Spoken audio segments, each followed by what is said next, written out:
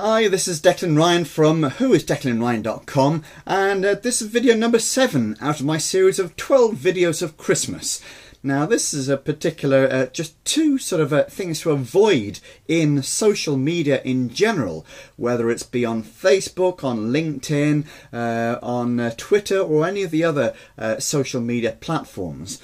And it's actually based on a study that I read by uh, one of the authors that I'm uh, very, uh, I like to read frequently. I really like to, to, to, read the stuff that he puts out, and that's Dan Zarrella.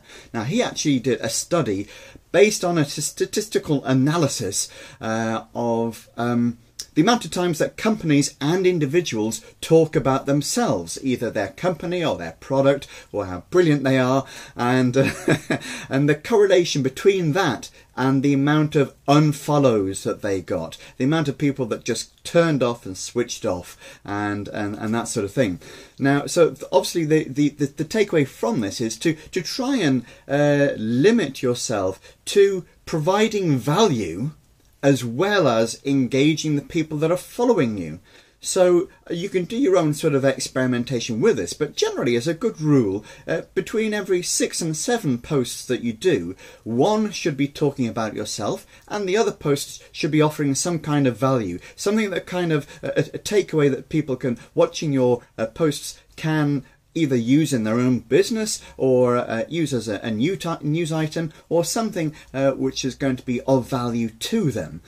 Now, um, the other one uh, out of the two media blunders which I'm covering here is companies that uh, companies or again individuals, people working from home or whatever, um, they go a blast on all the social media platforms they can get their hands on. Uh, and let's face it, there are a lot from Reddit to uh, Bebo to the whole lot.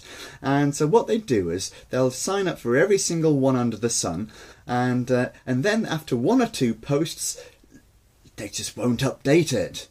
And so you've got a lot of these platforms out there with just one or two posts, and this is referred to as the ghost town syndrome. Uh, so, if you're doing social media posting, just keep it regularly updated. If it means not doing 30 but doing 10 instead, just so long that the people that are regular visitors to those blog posts or to those um, posts on those various different social media platforms have got something regularly to uh, to read and to keep in contact with. Avoid the ghost town syndrome.